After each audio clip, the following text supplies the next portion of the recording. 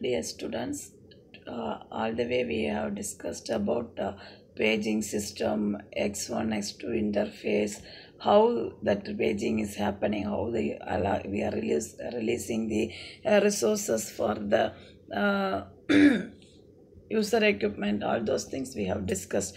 Today we will have a brief discussion about the uh, RAN procedures for the mobility. Okay, so before entering into the explanation of the RAN, I will uh, will see that the last sessions we have discussed various mechanisms and uh, signaling procedures between the various network elements of LTE. Okay, that will enable the mobility management over the S1 interface as well as the X2 interfaces. Okay, but the mobility management within the RAN that are very much important, which is used to determine when a handover should happen or how a user equipment access the target E node B when it executes the handover. Okay, so that we will discuss in this.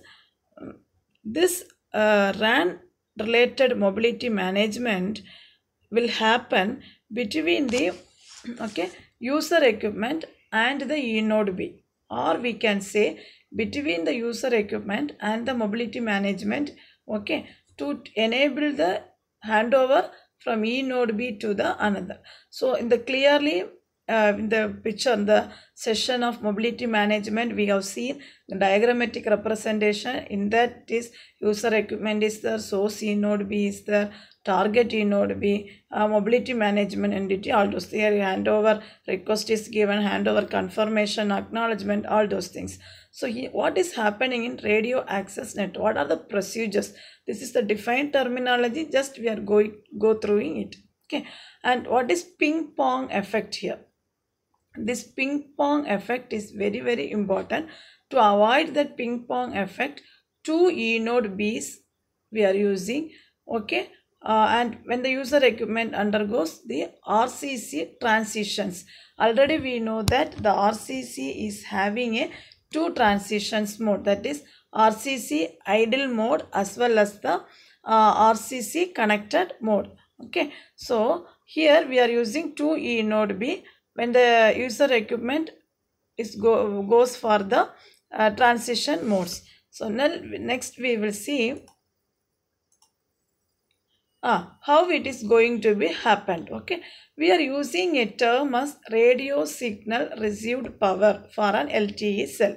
Okay, and for what purpose we wanted to use this in the sense the best radio link quality will be identified by the RS RPR, the best uh, uh, radio signal received part is the best radio link quality. Okay, and also that is for LTE. And by using reference signal code power, the best radio link quality is indicated for an UMTS cell.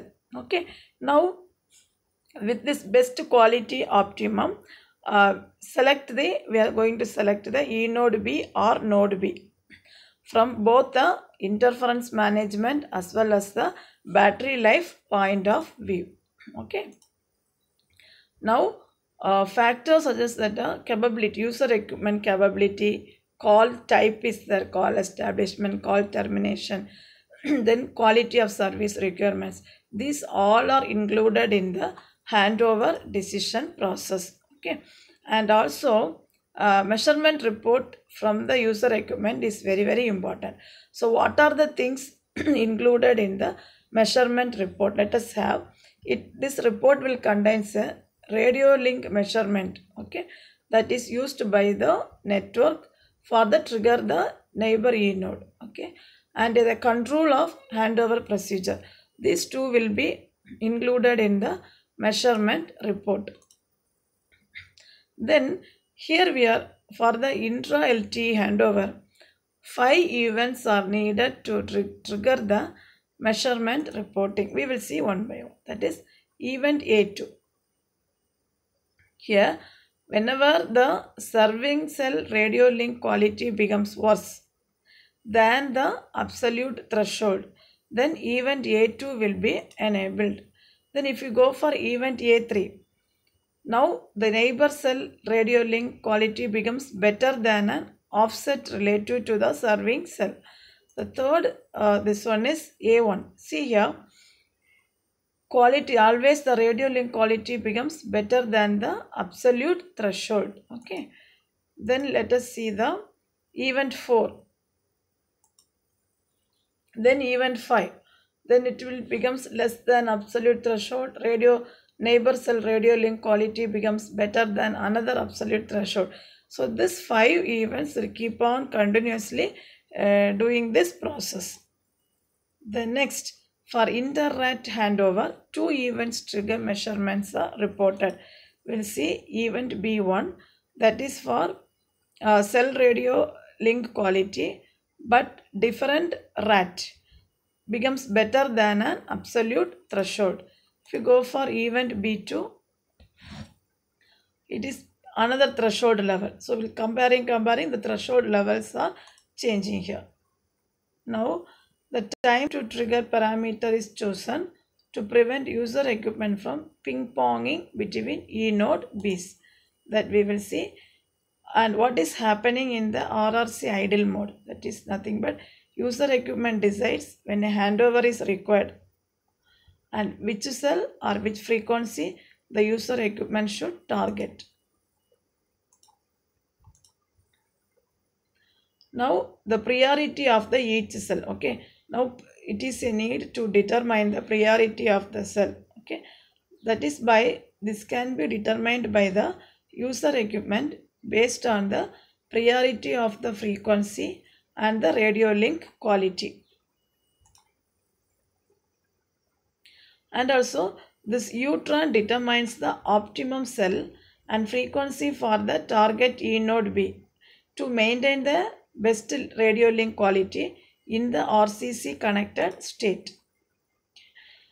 And the handover is initiated by UTRAN based on what? Okay, we have seen uh, 5 to 7 events. So based on this one or more events, the trigger the transmission measurement report either to A1 to A5 or between B1 to B2. So these all are the basic procedures that is terminology. We are going through what is happening in the RAN procedures. Okay. Here blind handover. How this blind handover is coming into the picture in the sense the UTRAN may initiate a handover without any of these trigger events. Okay.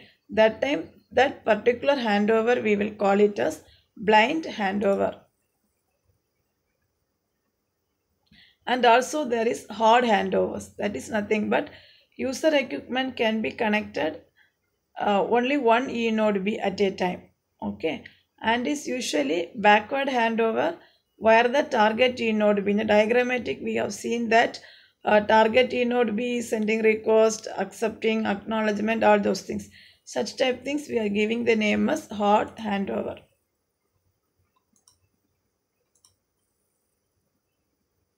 And here, whenever the resources are allocated and the target eNode B is ready to send an RRC message, okay, the user equipment will uses the random access procedure to establish the connection and execute the handover. So hope uh, everybody can get some clear picture for the um, random access radio access network procedure here. Uh, thank you.